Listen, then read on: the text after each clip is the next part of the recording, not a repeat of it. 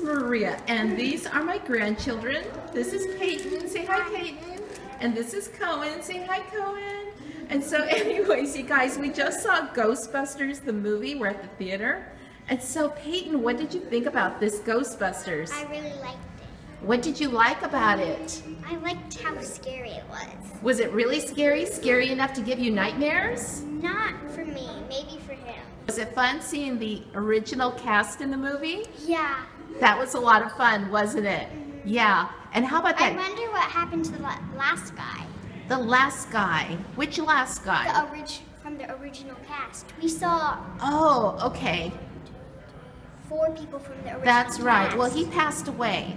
He passed away a couple of years ago, so he wasn't in this film.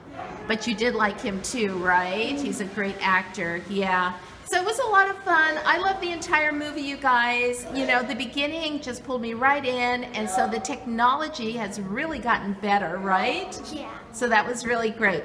So, okay, so now I feel like watching the old Ghostbusters movie. So we're gonna go head out for lunch. So let's go get some In-N-Out Burger, okay? Okay. Okay, thanks for watching everyone. Bye-bye. Bye.